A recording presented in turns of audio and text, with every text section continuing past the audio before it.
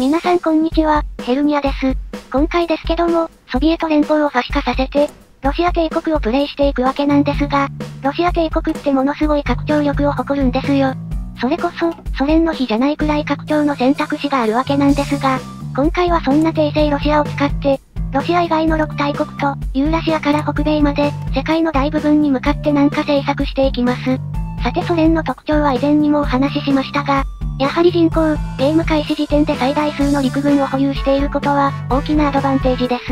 ひとまず、ソ連からロシアになるまである程度の時間はかかりますので、まずは定番の、トルコルーマニア拡張から、目指していくとしましょうか。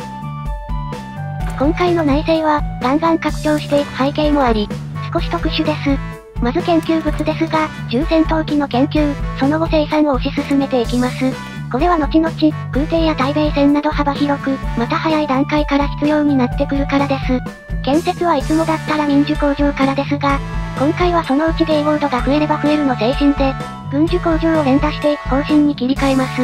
というのも、タイトルコ、ルーマニアに関しては、軍需の立て増しは必要ないんですが、その先のアジア展開において、重戦闘機や歩兵装備を作る軍需の数が足りていないため、連打していく次第です。なお余談ですが、ソ連の工場建設場所は、通常プレイにおいても、国境線のすぐそばとかではなく、内地のウラル山脈付近に建てるのが、最も安全でしょう。史実ならば、ソ連は対独戦が一番の課題になるわけですが、侵攻してきた相手に、大量の工場を奪われてしまうのは痛いですからね。国境線だけでなく、たまに上陸される時はされてしまう。国会周辺やバレンス海などの沿岸部もウィークポイントになる時があるので注意です。そして生産物の割り当てですが、大量の師団を充足させるための歩兵装備は欠かせないとして、序盤ならまだ有効打になる軽戦車。でもって戦闘機少々と空挺用の輸送機を作っていきます。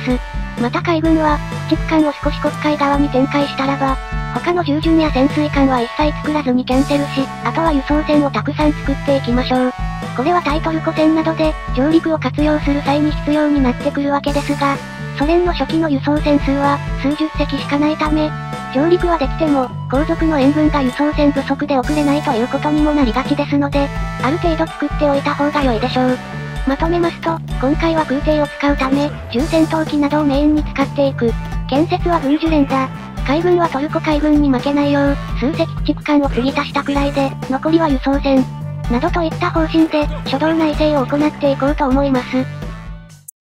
NF スターリン憲法で政治力を獲得。いつもならこれを使い、戦争経済や自由貿易などに変更するわけですが、今回はファシ化してロシア帝国になりたいわけですから、国粋主義戦闘家を雇っていきます。そして次の NF は、ソ連の代名詞とも言える大粛清の NF。これは通常の共産主義のプレイですと、しっかり粛清対象を選ばないと、ソ連が内戦状態に突入してしまうわけですが、ファシや民主主義にイデオロギー変更する場合、粛清対象を選ばない下の選択肢、すなわち本来だったら内戦まっしぐらになる選択を、ガンガンしていけるということになります。例えばですが、大粛清の中でも痛いのが2番目の選択イベント。一番上を選ぶと、初期の元帥の中でも唯一優秀なツハチェフスキーが使えなくなり、真ん中を選ぶと、優秀な将軍であり機構師団も使える、ロコソフスキーが使えなくなります。本来であれば、どちらの人材も使えるのでそうやすやすとは手放したくないんですが、ファシや民主になる場合は、一番下。将来的に内戦を起こしてしまう選択肢を選んで、何ら問題はありません。なぜならば、イデオロギー変更することによって生態が変わるわけですから、ターリンに対して不満などから内戦を起こそうという勢力も、あ、恐怖政治が終わったのか。じゃあひとまずいいやと。実際にはそんな緩くはないでしょうが、生態が変更されることによって、内戦が起こらなくなるのは確かです。これにより、先ほど挙げたツハチェフスキーとロコソフスキー両方を使うことができ、その他の人材も、粛清しなくて済むので普通より多くの選択肢の中から人を選ぶことができます。スターリン憲法以前に貯めていた政治力を使い、トルコに正当化。見ていただければわかるように、トルコにはルーマニアの独立保障がついているため、トルコ一国に正当化するだけで、ルーマニアにも拡張できてしまうのが最大の旨味です。余談ですが、ソ連はお世辞にも序盤の安定度が高い国とは言えないので、すなわち政治力が溜まりにくいこの国からしたら、トルコ拡張はコスパの良さがあるんですね。でもって、トルコとルーマニアの戦いにおいては、注意点が一つあります。それが将校の粛清デバフによる国民精神で、軍が弱くなっていることです。通常のソ連プレイでも、この将校の粛清を外すために初期拡張を行うわけですが、指揮統制率という、師団の戦闘継続力がガタ落ちしているので、とりわけ山岳が多く国境も短いトルコを、平押しで倒すのは無理があります。今回は先ほどご説明したように、粛清はほとんどしなかったわけですが、それでもいつもよりパーセントは低いですが、デバフはデバフできっちりついているのが現状です。ではデバフがついて、戦闘力が下がっているならばどうすればよいのかというと、このようにイスタンブール周辺などに上陸してそこから浸透していけばよいのです。特に今回上陸させたのは軽戦車師団ですから、そのスピードで一気に首都アンカラやイズミルなどを制圧。言わずもがなでありますが、軽戦車の10個師団だけじゃ足りませんので、後続の歩兵師団などもきちっと送り届けましょう。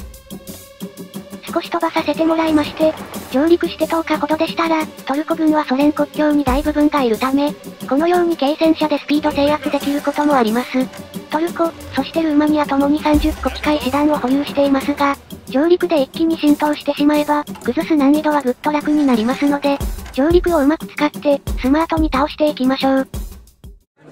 トルコも無事降伏し、動画映えを目指して全併合します。統治が面倒な方は、トルコはクロムタンクになるので、傀儡化しても全く問題ありません。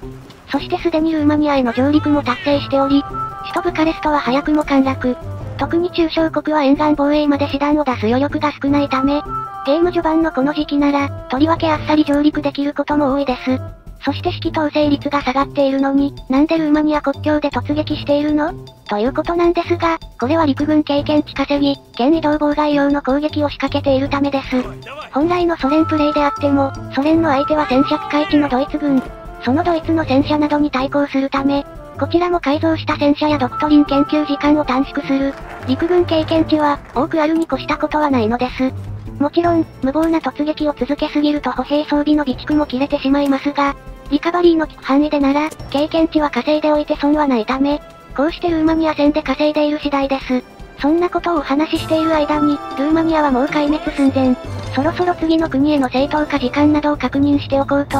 場面は極東に移ります。なお余談なんですが、ソ連の NF に NKB で優先というものがあるんですが、こちら、記述されている内容こそ正確ではないのですが、正当化時間をマイナス50%してくれます。拡大しますとこのようになっているわけですが、こちらはイデオロギー関係なく扱えるものとなっていますので、ガンガン拡張していくプレイングの時は、非常に役立つので扱ってみてください。ということで、いいタイミングでルーマニアも降伏してくれましたので、こちらも動画映えを気にして全併合。ルーマニアは石油タンクにもなるので、こちらも傀儡化して取り立てて問題ありません。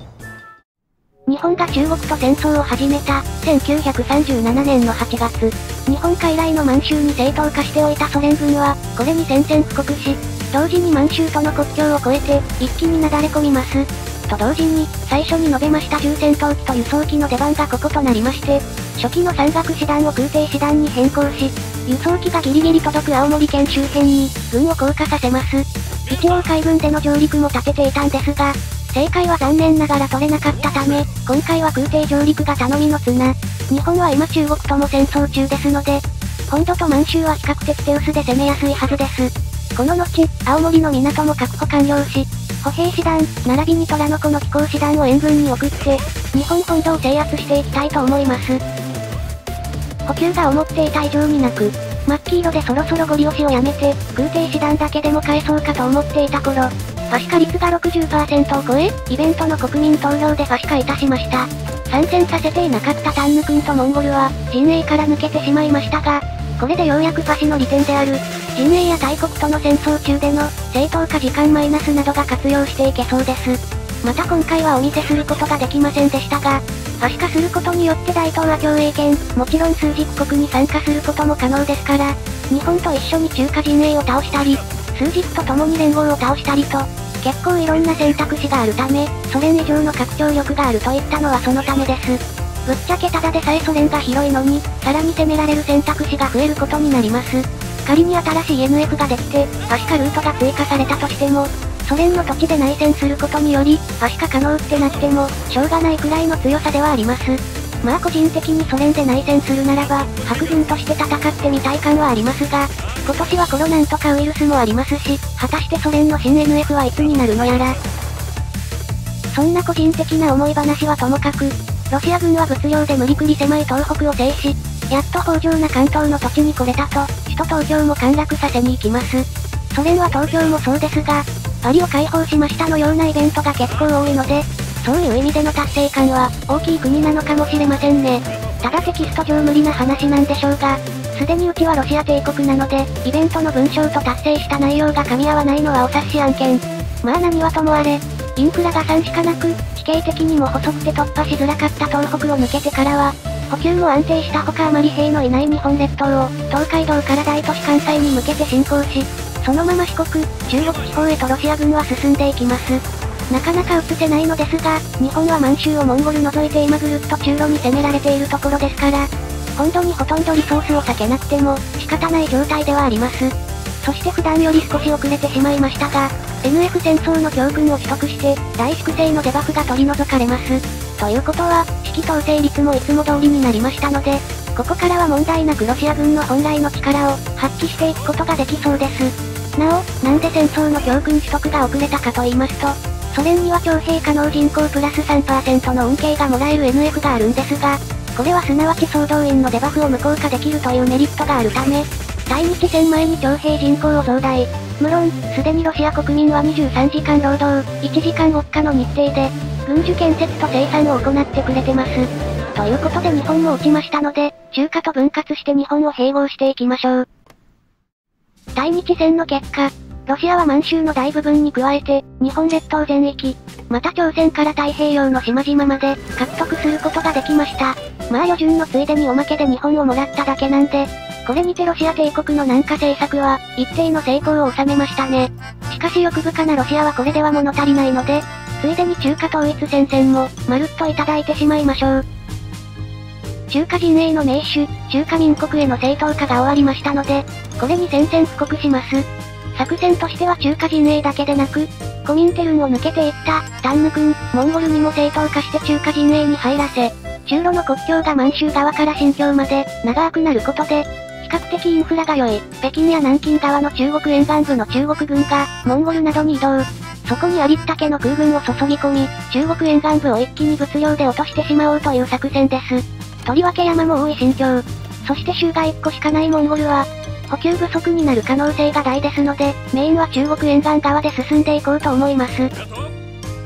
中華民国の軍が薄くなってきましたので、ロシア軍で構成したところ、旧蒙古国付近で小包囲が狙えそうだったため、現在北上中。今のうちに取っておけと、ウラルへの産業移転とか取得していますが、正直ここまで来たら、ソ連の NF でうまいのは研究枠と、航空機バックライなので、特に1939年頃になると、もう継続方針でいいかなと思えてしまう頃合いに、それだけ今のソ連 NF には、深みが足りていないのですが、そんなことはさておき、小規模包囲完成です。話がそれがちなのはいつものことですが、これにより海岸側の中華戦力がだいぶ減りましたので、行けるところまで南下して、中国の1プロビごとの師団数を減らしていきたいと思います。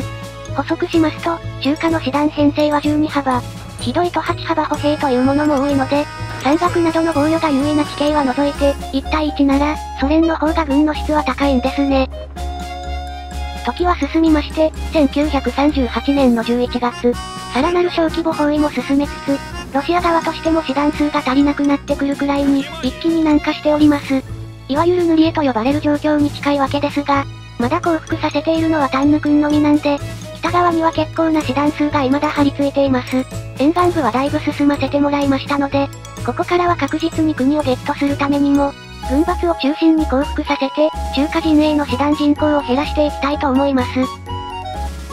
粘り強い攻勢を続けた結果、北側のモンゴルがようやく降伏。モンゴル側の戦線が崩壊したことで、中華陣営の師団は身動きが取りづらい状態となっており、南部に至っては、かなりガラガラの状態で進行しやすいです。そうは言っても、満足のいく師団数が足りていないため、逆包囲の危険性も部分的にありますが、いよいよ各軍閥が降伏して、中華陣営の終わりが現実的になってきました。攻め続けた結果、中京を含むいくつかの国を降伏に追い込むことができ、すでに臨時首都となっていた重慶も、ロシア軍の手の内にあります。そして今度は新疆も降伏し、中華民国自体にも、その加盟国にも立て直す力は、もうないと言ってよいでしょう。国民精神もありなかなか落ちない中華民国ですが、ようやく降伏して、講和会議に突入です。これにより、地味に中核州であるタンヌ君や、人口お化けの中華州をほぼほぼ占領することができ、迎合度が上がってくれば、とんでもない数の人口を叩き出してくれること間違いないでしょう。もちろん今回は遠慮なしで中華を全併合し、後々人的を活かしていく方針でいきます。ということで、ロシア帝国プレイ第1回はここまで。ご視聴ありがとうございました。よろしければ、高評価、チャンネル登録の方、よろしくお願いいたします。日中の領土併合と総動員のおかげで、軍需工場しか建てていないのに、使える民需工場は消費財抜いて65近くになってきました。対して軍需はおぞましいほど建ててきたので、次回はこのドイツ以上の高揚力で、世界を暴れ回っていけそうですね。このロシア帝国プレイの恐ろしいところは、これでもゆっくり拡張しているというのが怖いところです。それではまた次回。ではでは。